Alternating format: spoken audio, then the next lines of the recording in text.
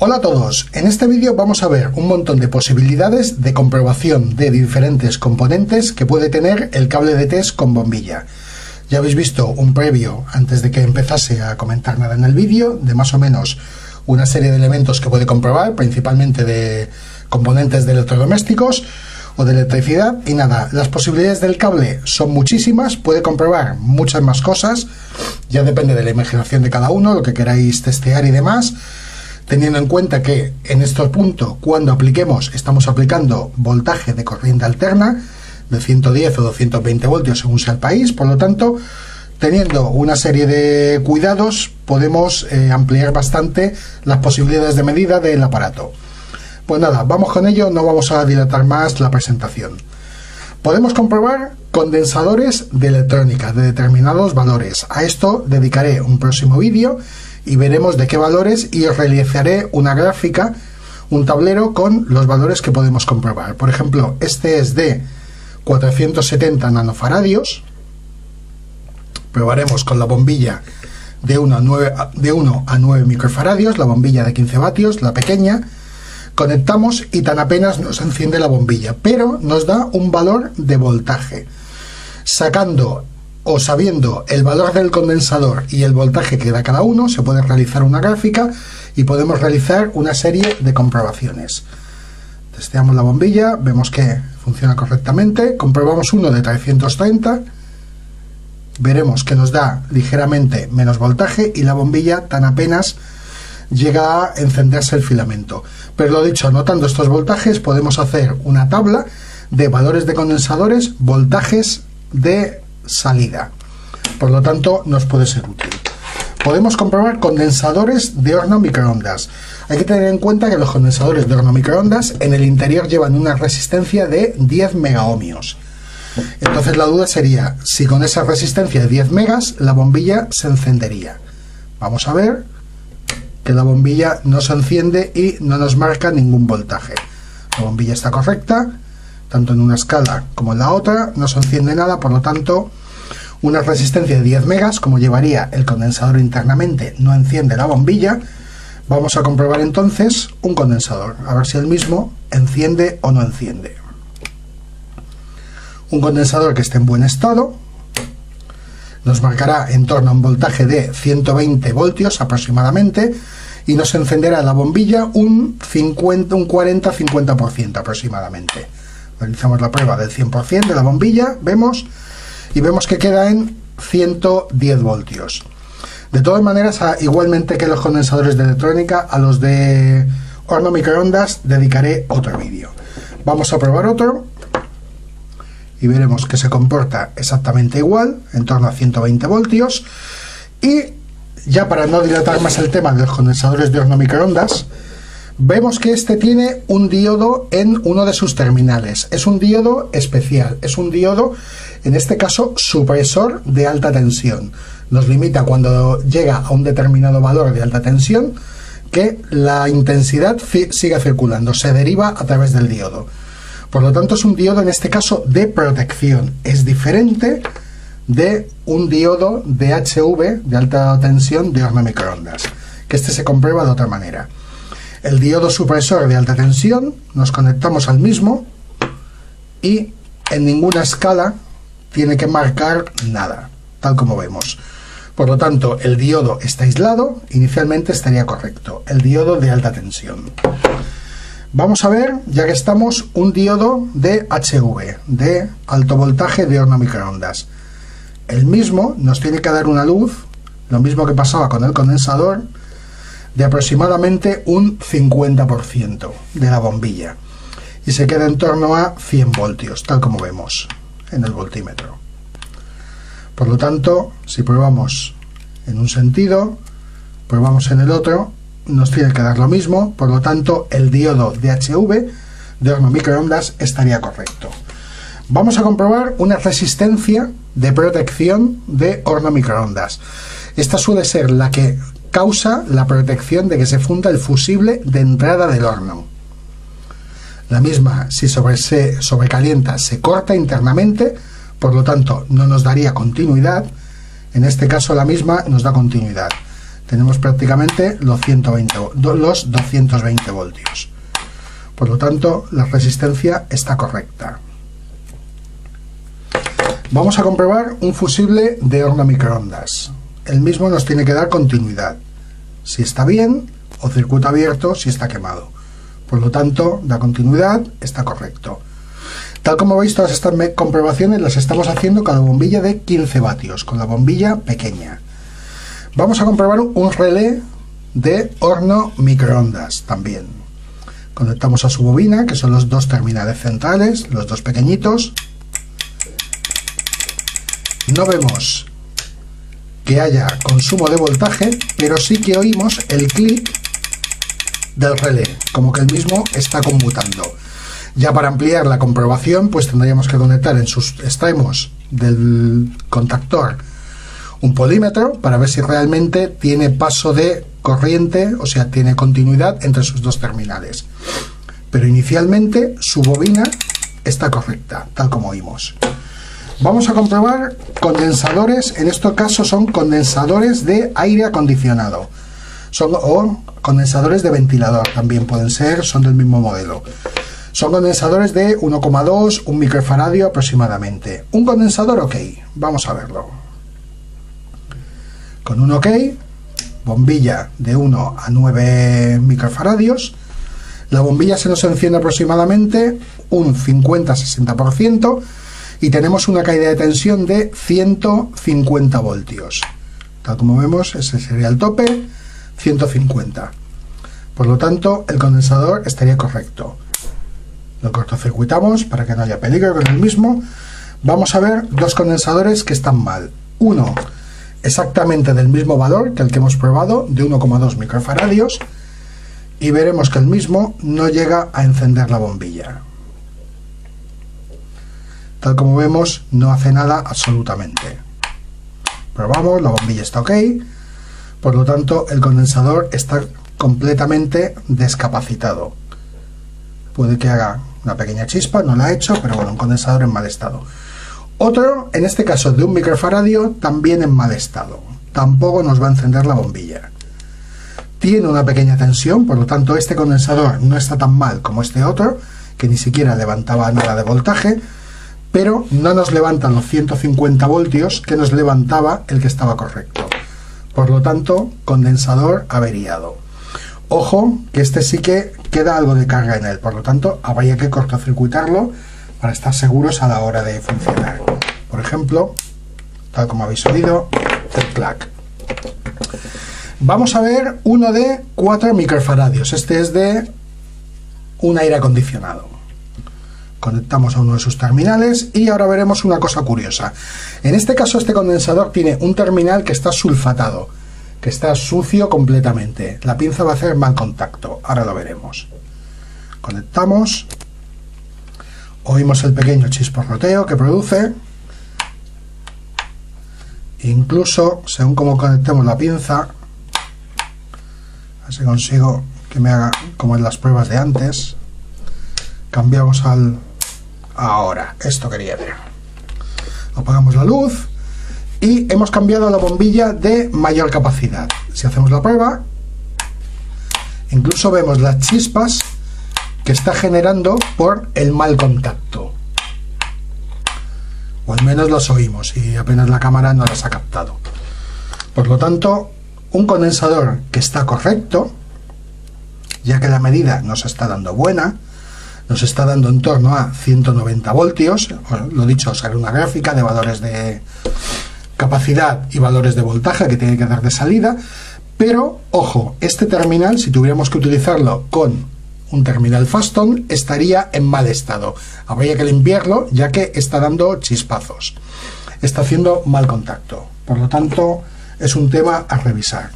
Vamos a ver ahora switches interruptores de horno microondas. Hay de dos modelos, hay de contacto normalmente abierto y contacto normalmente cerrado. En el esquema nos lo indica a qué corresponde cada cosa. Este es normalmente abierto y este normalmente cerrado. Si vemos su serigrafía, vemos el dibujo. Pues probamos, vemos que efectivamente es un normalmente abierto, y en el momento que pulsamos la bombilla se nos enciende. Por lo tanto, este switch estaría correcto. Vamos a ver uno normalmente cerrado, por lo tanto, enciende la bombilla sin tocar nada. En el momento que pulsamos, abre el circuito. Lo mismo, inicialmente el switch está correcto. Vemos ahora un interruptor de puerta de frigorífico, de puerta de nevera. El mismo, cuando está en reposo, da señal, da circuito, cerrado, da luz, pulsamos y nos da circuito abierto, cosa que es correcta. Por lo tanto, estaría correcto. Si viéramos que en el momento de pulsar la bombilla parpadea, estaría internamente mal dicho eh, interruptor. Vamos a ver ahora termostatos. Los termostatos en otros vídeos os he mostrado que los mismos hay que probarlos con temperatura. Sencillamente lo que vamos a comprobar ahora es si el termostato está abierto o está cerrado. En este caso veremos que está cerrado. Tendríamos, lo dicho, que aplicarle temperatura a su parte sensible para ver cómo el mismo abre. En este caso está cerrado, por lo tanto estaría dando continuidad. Sería una primera comprobación. Todo esto sencillamente es para que veáis las posibilidades que tiene el cable de test con bombilla. Luego ya el tema de profundizar un poco más en cada cosa, ya tenéis que andar investigando un poco y realizando pruebas. Es un aparato que sencillamente le coges el truco a base de utilizarlo. Vamos a ver ahora una electroválvula de depósito de sal de lavavajillas. Alimentamos la misma y veremos cómo se mueve. A ver si consigo no tapar nada. Ahí le tenemos. Tal como vemos, se ha activado. Por lo tanto, su bobina está correcta. Pasamos a la bombilla de mayor potencia y se activará con más fuerza. Tal como veis. Por lo tanto, la electroválvula estaría correcta. Se está activando su bobinado. Para la prueba de los presostatos de lavadora se me ha olvidado subir una manguerita para hacer la, eh, la impulsión de aire, para darle una... Eh, inyectarle aire a presión, por lo tanto no vamos a ver la conmutada. Pero bueno, tengo otros muchos vídeos explicando este tema, lo podéis ver. Tan solo que sepáis que también podemos comprobar los contactores, o sea, los presostatos, podemos realizar una pequeña prueba con ellos, solamente a falta de que tengamos que aplicarles aire para que el mismo conmute. Pero lo dicho, ha sido un fallo no subir la manguera, solamente que lo tengáis en cuenta, que también se pueden comprobar. Podemos comprobar, este es por ejemplo un interruptor de seguridad de un calefactor. El mismo cuando está en posición vertical está con circuito abierto, nos permite usar el aparato. En el momento que lo inclinamos, el mismo abre el circuito, tal como veis. Por lo tanto, el interruptor de seguridad, de verticalidad, estaría funcionando correctamente. También lo podemos probar. Podemos comprobar resistencias. La típica resistencia de lavadora, similar a la de lavavajillas, podemos probar. Lo primero, si entre sus terminales la resistencia está ok o está abierta.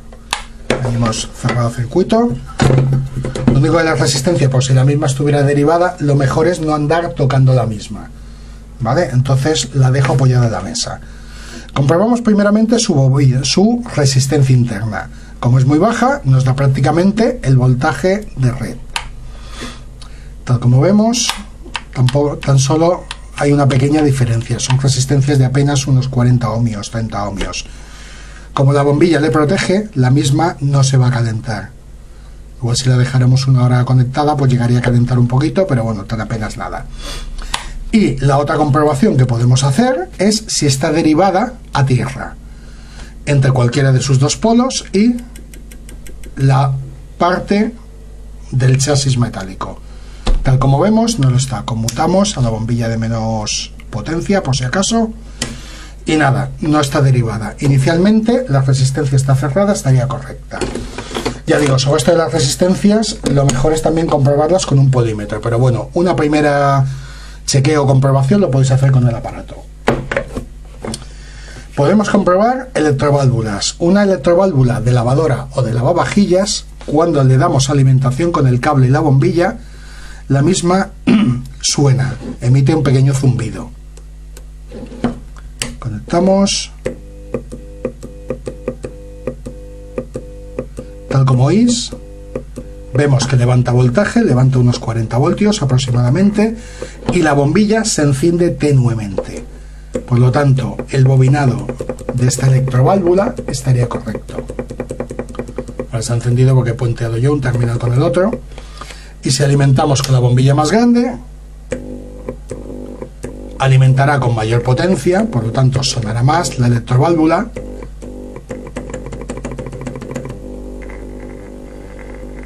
Pero la bombilla no llega a poder encenderse, por lo tanto es casi más correcto probarla con la bombilla de 15 vatios. Otro modelo de electroválvula, lo mismo.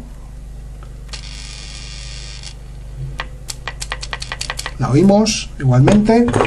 Podemos comprobar pequeños motores, por ejemplo.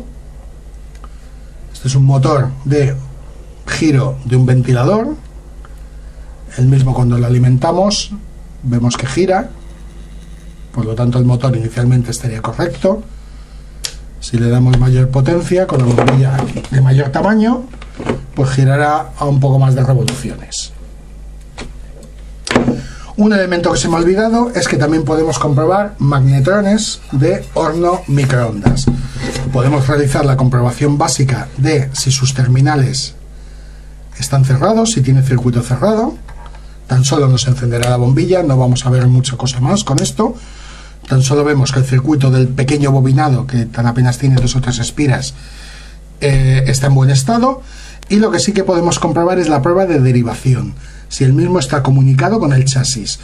Lo más correcto, como antes, sería comprobarlo con un polímetro, pero una pequeña prueba o una primera comprobación la podemos realizar con el cable de test. Tal como vemos, este magnetrón no está derivado entre uno de sus polos y el chasis no hay continuidad.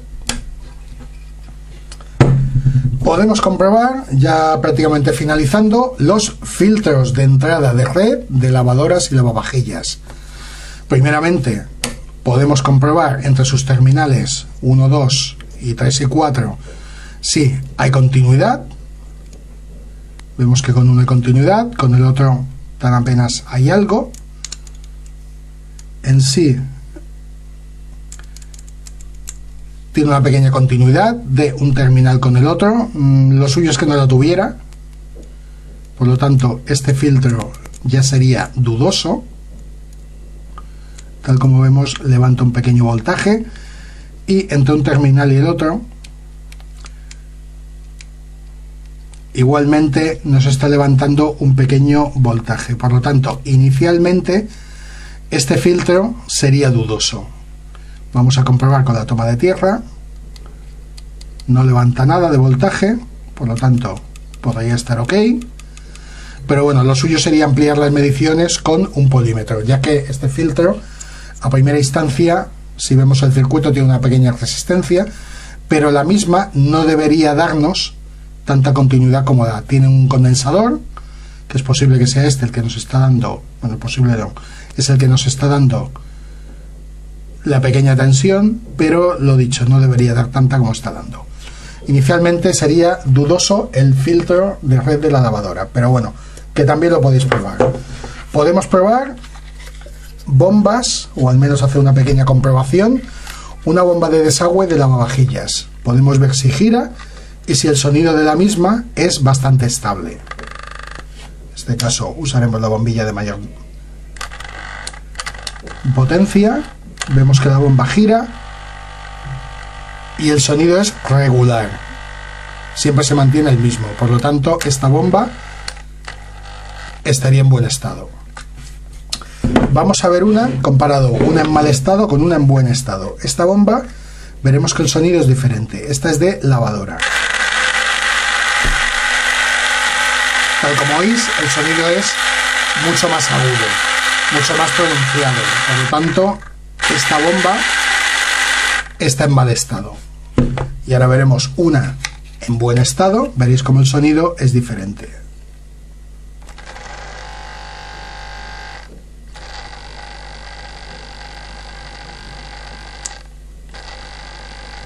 Tal como veis. Y ya, último elemento, podemos comprobar también termostatos de termocalentador de agua. Veremos en el circuito cuáles son sus terminales de entrada y cuáles son los de salida. Y una primera comprobación, lo suyo sería realizarla con agua caliente, introduciendo el bulbo en un cubo con agua o calentando el bulbo, pero lo dicho, conmutando su termostato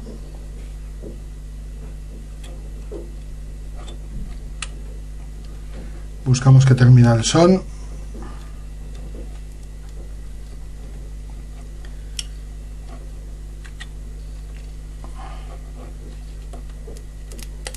Aquí le tenemos. Tenemos el terminal de entrada y el terminal de salida. El otro terminal está puenteado constantemente con la salida. Por lo tanto según giramos la rueda podemos ver si el termostato conmuta o no conmuta lo dicho ya la comprobación más eh, eficiente sería probarlo con temperatura y en este caso lo mismo vamos a ver si hemos acertado la primera el terminal Este es el normalmente abierto, perdón, cerrado. Comprobaremos el otro. A ver si conmuta. Y ahí le tenemos. Este circuito sigue realiza la conmutación. Lo dicho, los termostatos de termocalentador de agua, uno de sus terminales va permanente a la salida y el otro sí que lleva el interruptor para, para dar el circuito abierto.